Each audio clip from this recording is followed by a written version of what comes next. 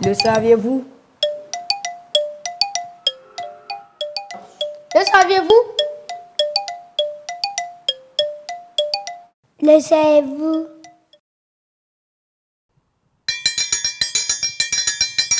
Torkayaye torkayaye yalamin yetta torkai ne wennam ye annan foti pa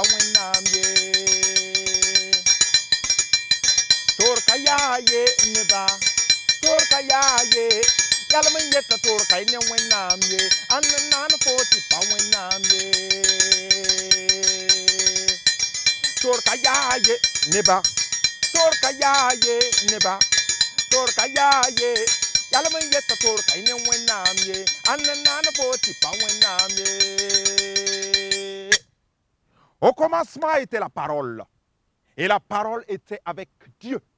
Et la parole était Dieu toutes choses ont été faites par elle et rien de ce qui a été fait n'a été fait sans elle en elle était la vie et la vie était la lumière des hommes elle a été faite chair et elle est venue parmi les siens mais les siens ne l'ont point reçu. Mais à tous ceux qui l'ont reçu, elle a donné le pouvoir de devenir enfants de Dieu, lesquels sont nés non de la volonté de la chair, mais la volonté de l'esprit. Chers enfants, si vous avez reçu la parole faite chair, c'est-à-dire Christ, vous êtes les enfants les plus heureux de la terre. Alors, installez-vous confortablement et voyagez avec moi dans l'univers de la parole. Voyagez avec moi dans l'univers de l'imaginaire. Voyagez avec moi dans l'univers du conte. Voyagez avec moi dans l'univers de l'histoire. Voyagez avec moi dans l'univers du récit. Voyagez avec moi dans l'univers de la parole. Car j'ai l'habitude de dire que dans ce monde, beaucoup aiment parler, mais peu de gens parlent de l'auteur de la parole. Alors moi, je me fais le porte-parole de l'auteur de la parole. Je vous parle de Mwenam, le Créateur. Car la parole est Dieu. Bienvenue dans votre numéro 2 le saviez-vous? Installez-vous confortablement et voyageons ensemble.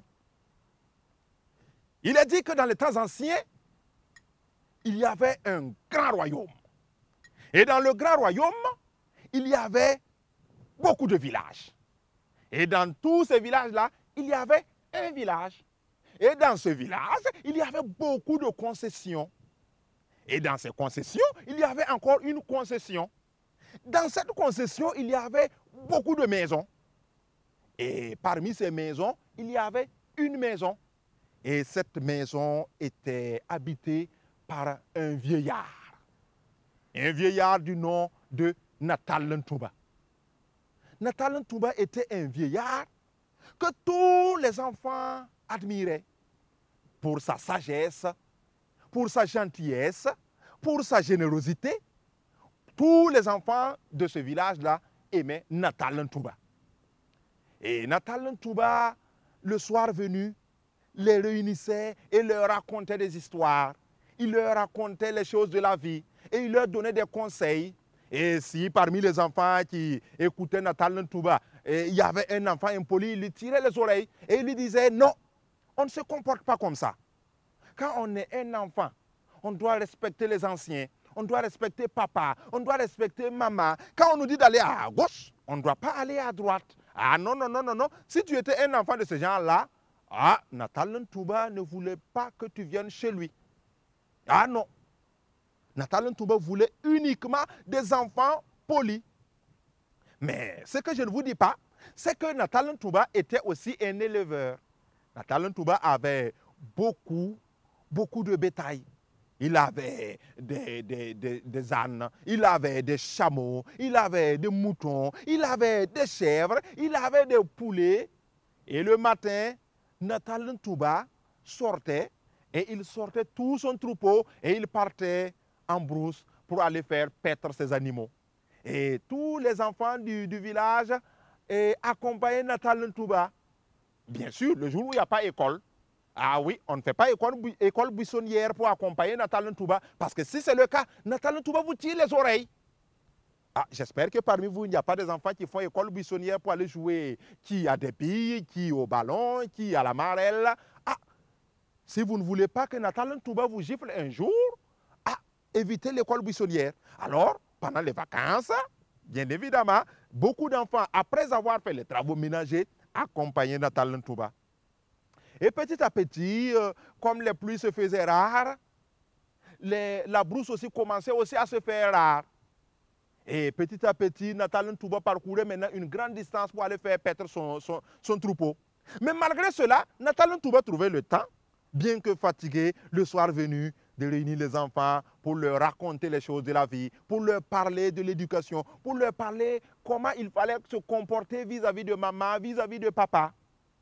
Et encore une année de plus, et les pluies se faisaient encore rares. Et aussi, le pâturage aussi se ferait encore de plus en plus lointaine. Et Nathalie Touba, à un moment donné, réunit les enfants et leur dit, ben, vu que le pâturage est devenu très loin, et que moi aussi je suis vraiment vieux, je vais aller carrément m'installer en brousse pour faire paître mes animaux. Ah, les enfants n'étaient pas contents, certains pleuraient, certains demandaient pardon à Nathalie Touba, mais aïe, Nathalie Touba devait quand même amener ses animaux pour les faire paître en brousse. Il n'allait quand même pas laisser les animaux mourir. Alors il réunit les enfants pour une dernière fois et il leur dit tout ce qu'il leur avait déjà dit. Il leur a dit comment il fallait se comporter, comment il fallait se comporter vis-à-vis de ses camarades, comment il fallait se comporter vis-à-vis des personnes méchantes, comment il fallait se comporter vis-à-vis des personnes aussi qui sont bien, comment il fallait rester à la maison quand il fait nuit, comment il fallait prendre les études au sérieux, comment il fallait vraiment travailler dans la vie, comment il ne fallait pas tricher. Et il a béni les enfants, il leur dit, allez, faites-en bon usage. Et sûrement, je reviendrai un jour et je ferai encore euh, les contes, les histoires avec vous. Mais les enfants n'étaient pas contents, les parents n'étaient pas contents, mais Nathalie Touba était obligé de partir avec ses animaux. Et les enfants sont sortis et ils ont accompagné Nathalie Touba jusqu'aux sorties du village. Et ils sont repartis avec euh, un pincement au cœur, avec des larmes aux yeux. N'est-ce pas que quand papy veut voyager, vous n'êtes pas content? Oui, Nathalie Touba était devenu comme le papy de tout le village. Et Nathalie Touba arrivé en brousse là-bas, il s'installe, il fait une petite case et il, il met ses animaux dans un enclos et il avait maintenant le pâturage à côté. Mais à côté de l'enclos de Nathalie Touba vivait aussi une famille avec un enfant qui était vraiment turbulent. Un enfant qui n'a pas eu le temps de suivre euh, les conseils de Nathalie Touba dans son village, mais qui décide comme ça d'être l'ami de Nathalie Touba. Un soir, il vient et dit, bon, moi je veux être ton ami. Ah, chers enfants, quand c'est une personne âgée, est-ce qu'on dit toi? Ah non. Donc vous voyez que cet enfant était déjà pas bien. Mais Nathalie Touba ne s'est pas fâché, il, il- il a bien écouté et il dit désormais, quand tu t'adresses à une personne âgée, tu dis, je veux être votre ami.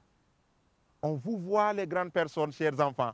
C'est comme ça que vous aurez des bonbons. C'est comme ça que vous aurez l'amitié de ces personnes-là. Oui, et il dit qu'il a compris. Et il suit Nathalie Touba. Et le nom de ce petit enfant-là, c'est Nazindungouba. Et Nazindungouba, il suivait Nathalie Touba. Un beau matin, avant même le réveil de Nathalie Touba, Nazindungouba vient taper à la porte. Il dit, bon, euh, Yaba, moi j'ai un oiseau que je vais vous remettre pour que vous fassiez de la soupe ah, pour manger, parce que comme je suis votre ami là, ah, je viens vous donner ce- cet oiseau-là. Nathalie Touba dit, bon, merci beaucoup, merci pour ton oiseau. Il dit, Yaba, il faut tout manger, hein. moi je te donne un cadeau. Ah, Nathalie Touba dit, oui, merci beaucoup, merci bien, que Dieu te bénisse. Et il est parti. Et Nathalie Touba, comme c'était un vieillard, qui avait vraiment compris toute la vie, qui avait raconté comment il fallait être bien dans la vie, Nathalie Touba prend l'oiseau, il le met dans une petite cage et il le dépose dans sa case. Et il sort, il va faire ses travaux, il va faire paître ses animaux. Le soir, qui est-ce? C'est moi, Nazine Ngouba. Oui, que veux-tu à cette heure-là? Eh, Yaba, je viens prendre mon oiseau. Mais quel oiseau? Yaba, mon oiseau que je t'ai donné le matin là. Je veux ton oiseau. Et Nathalie Touba dit, mais tu m'as donné ton oiseau, tu m'as dit de faire la soupe. Moi, j'ai fait la soupe. Ah Nazine Ngouba dit, ah, si tu as mangé mon oiseau, tu me donnes une chèvre. Ah oui, tu me donnes une chèvre. Et Nathalie Touba lui dit, cher Ngouba, voici ton oiseau. Et Nazine va vite euh, de dire à Natal, non, moi je plaisantais avec vous. N'est-ce pas qu'entre amis on plaisante souvent, Yaba? Ah, Yaba, moi je plaisante. Yaba, moi je suis fâché. Donc vous n'avez pas mangé mon oiseau là. Moi je suis pas content. Natal va dit, non, à cause de mes travaux là, je n'ai pas eu le temps. Mais je comptais le faire demain matin.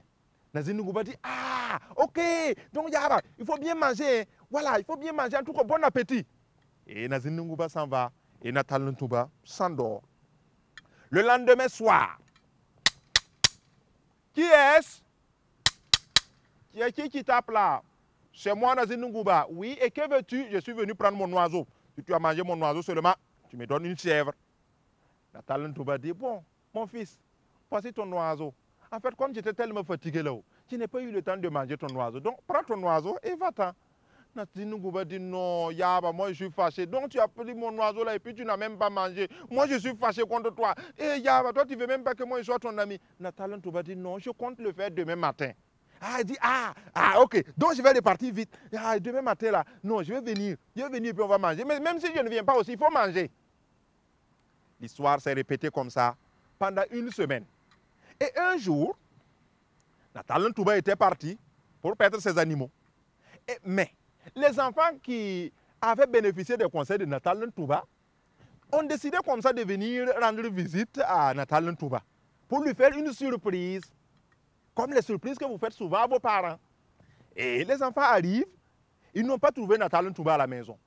Mais ils ont trouvé un oiseau. Ils se sont dit, bon, sûrement notre Yabala, il a attrapé cet oiseau-là bon, pour nous donner, mais comme il n'a pas eu le temps pour venir nous donner là-haut, sûrement c'est pour ça qu'il a laissé ça ici. Donc on va griller notre oiseau, et puis on mange notre oiseau. Et quand Yaba va venir, Yaba même sera content. N'est-ce pas même que quand Yaba était au village avec nous, là, il nous donnait des poulets, souvent même il tuait des moutons, et puis nous on mangeait. Donc on mangeait notre euh, oiseau. Ceci dit, ceci fait, les enfants mangent l'oiseau de Nazinunguba. Ah, et Natal Ntouba arrive à peine Nathalie Touba arrive à la maison, Nazine Nungouba aussi arrive. Qui est-ce? Qui est-ce? C'est Nazine Nungouba. Oui, et que veux-tu? Je suis venu prendre mon oiseau. Et Nathalie Touba, qui, pensait que son oiseau est toujours là, dit Bon, Nazine Nungouba, viens prendre ton oiseau. Ah, et les enfants qui étaient là ont compris que, ah, il venait de toucher à un interdit. À un interdit. Ah, et les enfants disent, Yaba, nous on a mangé l'oiseau là. Ah, Nazinunguba ne se fait pas prier, il saute, il chante, ah, il dit aux éclats, il dit, ah, vous avez mangé mon oiseau? Ah, donc euh, si c'est comme ça, moi je vais prendre une chèvre. Les enfants veulent pleurer, Nathalie Ntumba leur dit non. Dieu a donné, Dieu a repris, que son nom soit loué. Vous êtes mes petits-enfants, lui aussi il est mon petit enfant. Oui, il peut prendre. Et Nazine Ngouba rentre dans l'enclos de Nathalie Touba. Il prend une chèvre et il part. Regarde-moi chez lui. Ah, pendant une semaine, brochette de, chèvre, soupe de chèvre, ragoût de chèvre, bref, tout ce qu'on peut manger. Une semaine après, Nathalie Touba est chez lui.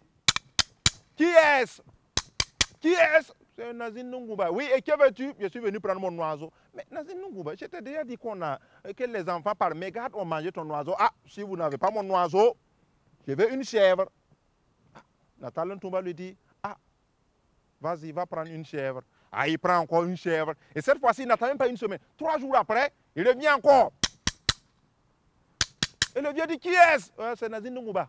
Et que veux-tu? Ah, je suis venu prendre mon oiseau. Mais Nazine Nungouba, je t'ai déjà dit que les enfants par mégarde ont mangé ton oiseau. Qu'est-ce que tu veux que je te dise encore? Ah, si vous n'avez pas mon oiseau, je veux une chèvre. Et le vieux lui dit, va dans l'enclos, prends une chèvre. Et Nazine va part encore. Il prend euh, une chèvre encore et il s'en va. Maintenant, il partait même plus manger les chèvres, il partait vendre maintenant. Est-ce que ça c'est bon? Ah, cet enfant-là, il ne craignait pas Dieu. Et il a continué comme ça. 10 chèvres, 20 chèvres.